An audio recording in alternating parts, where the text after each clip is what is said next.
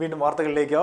Perinjanam lions ക്ലബിന്റെ ആഭിമുഖ്യത്തിൽ തൃപ്പയാർ പോളിടെക്നിക്കിന്റെ സഹകരണത്തോടെ നടത്തിവരുന്ന സൗജന്യ തയ്യൽ പരിശീലന കേന്ദ്രത്തിലെ വിദ്യാർത്ഥികൾക്ക് യാത്രയപ്പ് നൽകി. വ്യാപാരി വ്യവസായി ഏകോപന സമിതി യൂണിറ്റ് പ്രസിഡന്റ് പി പവിത്രൻ ഉദ്ഘാടനം ചെയ്തു. നമ്മുടെ നാട്ടിൽ ഏറ്റവും കൂടുതൽ ക്ഷാമം നേരിടുന്നത് ജോലിക്കാണ്.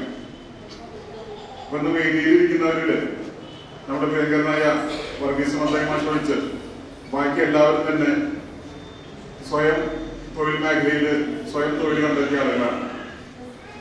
അവരൊക്കെ തന്നെ അവരുടെ ഓരോ മേഖലയിലേക്ക് തിരിഞ്ഞപ്പോൾ അന്നൊന്നും ഞങ്ങൾക്ക് കാര്യങ്ങൾ പറഞ്ഞു തരാനോ വ്യക്തത വരുത്താനൊന്നും ആരും ഉണ്ടായിട്ടുണ്ടായില്ല ഇന്ന് സർക്കാരിന്റെ പല കോഴ്സുകളും പല നൈപുണ്യ ക്ലാസ്സുകളോടെ തന്നെ ഈ മേഖലയിൽ നമ്മുടെ യുവതികൾക്കും യുവാക്കൾക്കും ഒക്കെ ഒട്ടനവധി തൊഴിൽ പരിശീലനങ്ങൾ നൽകിക്കൊണ്ട് ഒരു പുതിയ സിസ്റ്റം പോവുകയാണ്. പ്രസിഡന്റ് വി കെ ഷൺമുഖൻ അധ്യക്ഷത വഹിച്ചു. K K Baburaj professor Varghese Mathai Sunny Madhav V K Sadanandan Kuttan Tharayil തുടങ്ങിയവരും സംസാരിച്ചു. പുതിയകാവ് ഇൽഫത്ത് വിമൻസ് കോളേജിൽ സ്പോർട്സ് ഡേ ആഘോഷിച്ചു. ജില്ലാ throwball association secretary P C Ravi ഉദ്ഘാടനം ചെയ്തു. പ്രിൻസിപ്പാൽ വി കെ ബഷീർ അധ്യക്ഷത വഹിച്ചു. ടി ഐ ഷറഫുദ്ദീൻ ധന്യ രതീഷ് തുടങ്ങിയവരും സംസാരിച്ചു.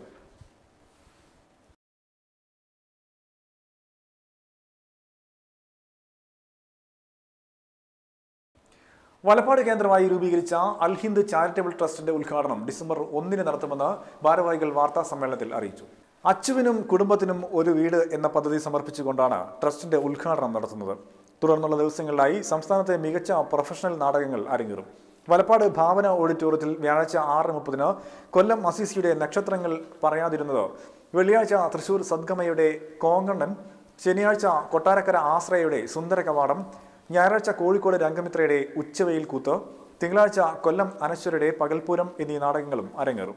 സംസ്ഥാന പ്രൊഫഷണൽ നാടകത്തിൽ മികച്ച ഹാസ്യ നടനുള്ള അവാർഡ് നേടിയ ശിവൻ ആനവിഴുങ്ങിയെയും വൈൽഡ് ലൈഫ് ഫോട്ടോഗ്രാഫിയിൽ സംസ്ഥാന അവാർഡ് നേടിയ ഫൈസൽ മാഗ്നറ്റിനെയും ചടങ്ങിൽ ആദരിക്കും.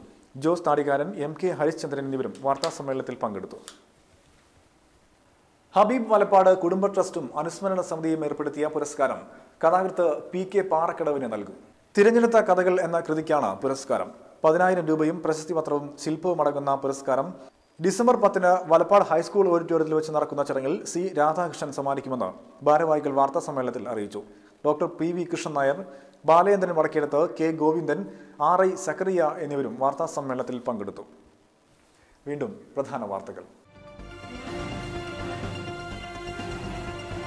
നിലമ്പൂർ ഏറ്റുമുട്ടലിന്റെ പേര് പറഞ്ഞ് പോലീസ് അന്യായമായി പീഡിപ്പിക്കുകയാണെന്ന് കൊടുങ്ങല്ലൂരിൽ ആശുപത്രിയിൽ കഴിയുന്ന ദലിത് നേതാവ് അനിൽകുമാർ.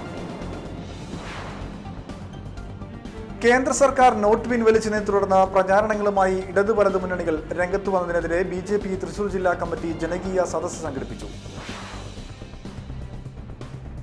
പെൻഷൻ ഒരുമിച്ച് ഒറ്റത്തവണയായി നൽകണമെന്നും സാമ്പത്തിക നിയന്ത്രണങ്ങൾ ഒഴിവാക്കണമെന്നും ആവശ്യപ്പെട്ട് Kerala state service pensioners union Kodungallur block committee march നടത്തി. ഇതോടെ വാർത്തകൾ കഴിഞ്ഞു. നമസ്കാരം.